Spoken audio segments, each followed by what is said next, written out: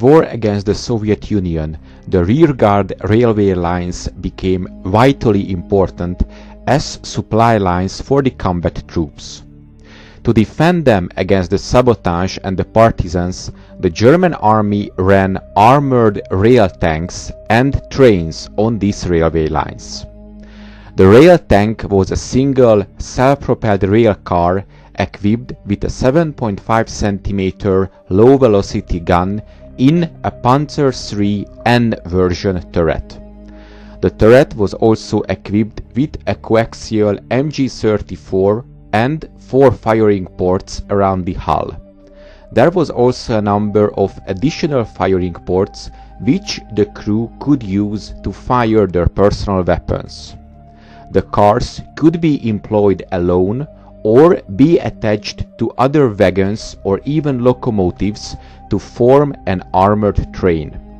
Its main purpose was patrolling railways to discourage any kind of sabotage as well as engaging partisans. It was also meant to escort convoys. They were often used as scouts, making sure that the tracks had not been sabotaged by preceding the convoy on its route.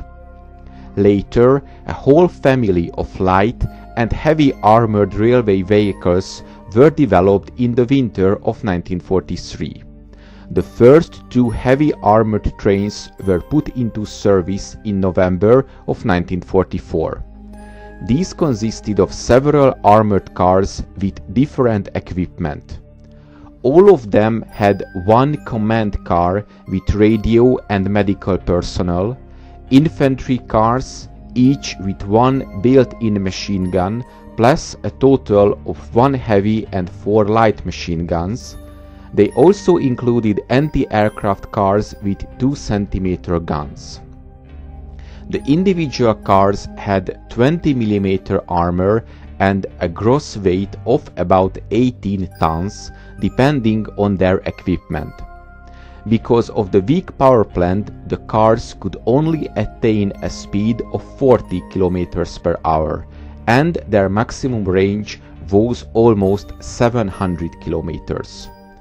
These units could operate as a single train but were intended to be operated independently or in small groups depending on their mission.